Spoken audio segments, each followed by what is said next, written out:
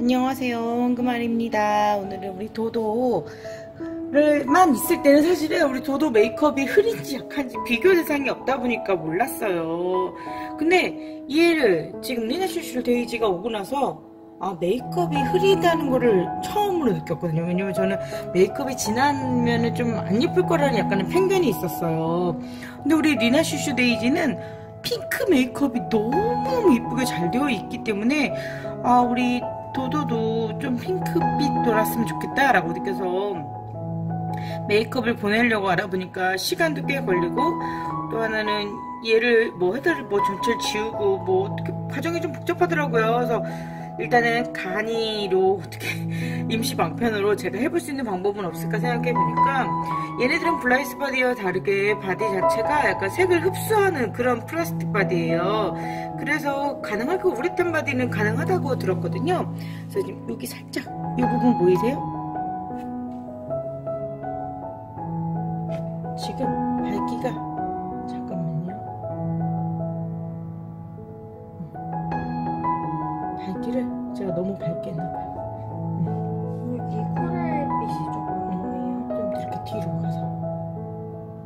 어때요? 코랄빛이 잘 돌죠? 지금 이 옆을 보세요. 이 옆에는 색깔 아직 메이크업을 안 한 상태고 여기는 살짝 메이크업을 해준 상태입니다. 차이가 있죠. 이렇게 있을 때. 그래서 지금 이 옆을 제가 해주려고 하는데요. 사용한 건 짜잔 보여주세요. 제가 기존에 사용하던 그냥 블러셔예요. 블러셔인데 음, 우리 엠유들은 좀 코랄빛이 도는 메이크업이 이쁠 것 같아서 코랄빛 도는 블러셔를 가져왔고 얘 네시슈 데이지는 완전 핑크 정말 핑크 핑크 핑크한 메이크업이에요. 그래서 얘와는 좀 다른 느낌으로 해주고 자 이거 이제 제 영상을 한번 보세요. 붓을 이거는 제가 그냥 기존에 쓰던 음, 눈에 바르는 아이섀도우용 브러쉬인데요. 조금 약간 거칠지 않고 부드러운 그런 소를 한번 이용하세요. 그리고 여기 빈 틈에다가 많이 묻혀서 갑자기 너무 확 진해지지 않게 음, 자 그리고 볼 주변을 살살살살살 칠합니다.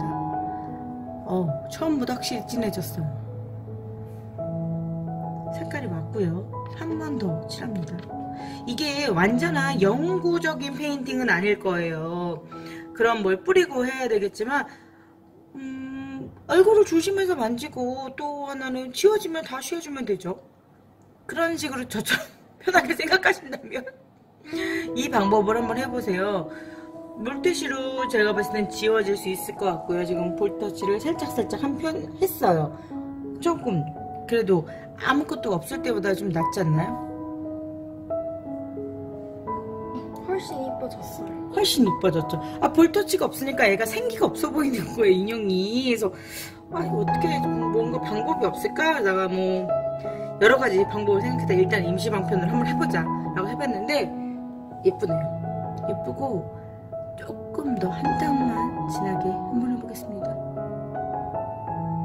처음부터 진하게 하는 게 아니라 흐리게 한 후에 계속 추가적으로 뭔가 변경샷을 준다고 생각하시면 되고요. 지금 빛이 조금 너무 또 부족하니까 이 정도 올리고 음, 이제 이쪽에서 한번 이렇게 보여주세요.